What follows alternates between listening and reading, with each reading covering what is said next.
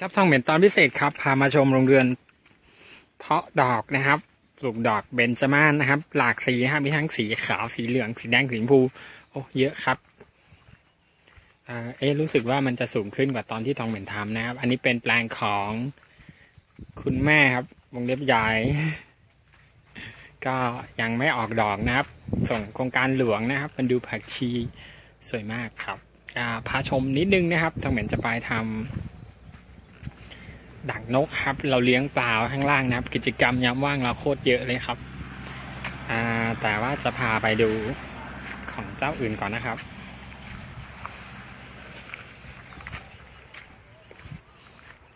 นี่ครับ อันนี้เริ่ม เริ่มเริ่มเป็นพุ่มแล้วนะครับ อันนี้ก็ดีตัดแล้วฮะเป็นจมานนะครับผมพาชมใกล้ ๆ นะครับ เดี๋ยวเรามุดข้างในดีกว่าครับ จริง ๆ ไม่ต้องมุดนะครับ เพราะว่าต้องเป็นตัวสูงแล้วมันจะชนหัวนี่ครับว่าแล้วก็เรียบร้อย สวยไหมล่ะครับ ต้องการดอกนี่ติดต่อมาได้นะครับ ปั้งเต็มๆโอ้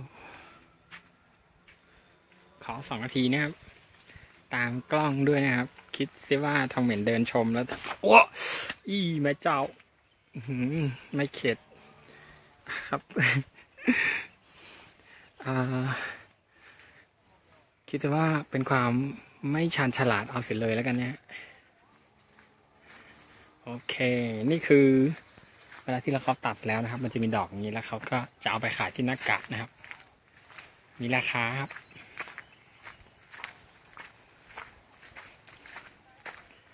อ่าตัวนี้คือลือนะครับล้อปลูกใหม่ มาถึงบ่อกัน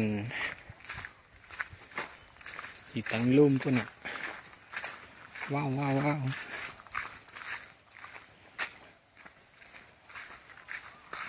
ตั้งลมมีไหนวะ